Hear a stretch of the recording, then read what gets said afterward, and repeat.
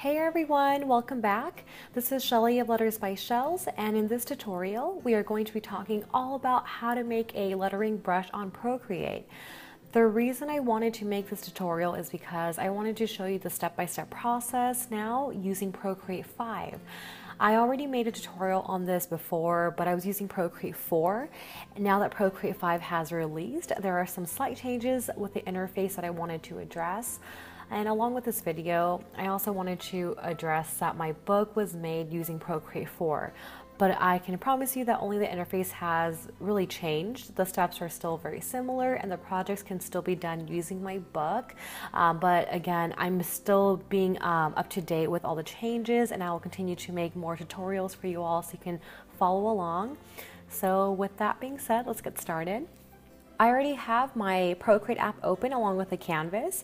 So I'm gonna use my Apple Pencil and tap on that brush icon right there. Uh, when you go ahead, open that up, it opens up the brush library. So on the left-hand side, if you scroll all the way down, you can see that blue plus symbol. That's where you can basically make a brand new folder. So that way you can store your new brushes that you're creating. Um, but I'm gonna go ahead and use a folder I already made in the past. So as long as you have that folder open, just go ahead and tap on that plus symbol at the upper right hand corner right there. And then when you open that up, you'll be able to see um, that it opens up this whole brush studio. So this is where the major changes happened. So everything is still the same, but the interface has now changed. Um, back in Procreate 4, when you made a new brush, it was only half the screen size on the right hand side, but now it's the entire screen, which, which is really nice because now you can see everything a little bit more clear and you can do like more test runs on the right hand side right, that you see there.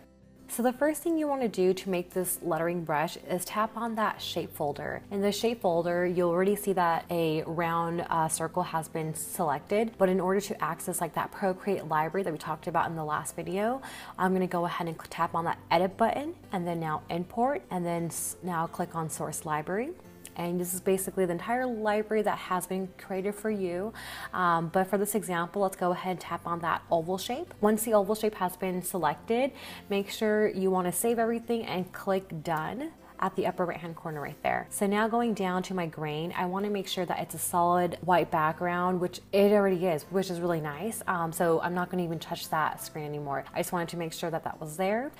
And the reason why this lettering brush is going to be different from all the other brushes that you see is because I want to make sure that when I make a lettering brush, see that it changes in pressure. So for every like downstroke that I do, I want to make sure that I can see like really thick lines and every light strokes that I do, the um, the pressure will change and the thickness will vary as well. The goal is to have thick lines for my downstrokes and thin lines for my upstrokes.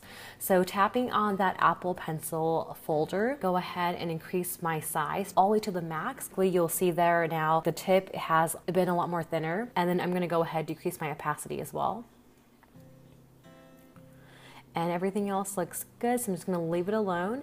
The nice thing about the new brush studio is that you can tap on about this brush and it's like a really cool thing. You can credit your brush and like we let other people know that you made this brush. So you can tap on that icon right there with the photo and basically input your own photo. So I'm to go ahead and show you in this example and then you can just type in your name made by, you know, Shells and then I'm just to sign it. It's just a really neat thing, but I feel like it's really neat to have because people who do create Procreate brushes, you know, we want to be recognized for it as well. So I totally, I feel like this is like a good way to give credit to the creators. And I think it's really awesome that Procreate has now made this new addition. So the last thing that we're going to be doing is uh, checking the stroke path folder.